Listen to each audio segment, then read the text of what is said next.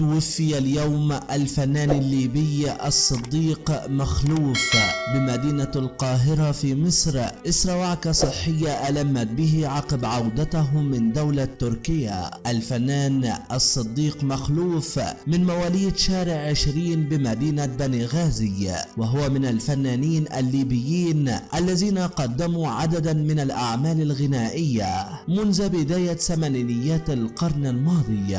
وقدم الفنان الراحل الصديق مخلوف. آخر أغانيه في شهر سبتمبر العام الماضي بعنوان مع السلامة. من منزله عبر حسابه الخاص بموقع فيسبوك. بسبب الإجراءات الاحترازية الوقائية من فيروس كورونا المستجد.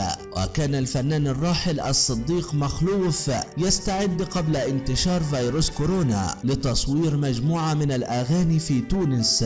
ومن بينها أغنية مش متخيل وأغنية كوني وهما من كلمات الشاعر فرج المزبل وفقا لتصريح سابق لبوابة الوسط أدلى به في شهر سبتمبر عام 2020 يذكر أن الفنان الصديق مخلوف له عديد الأعمال الغنائية سواء لحنا وأداء.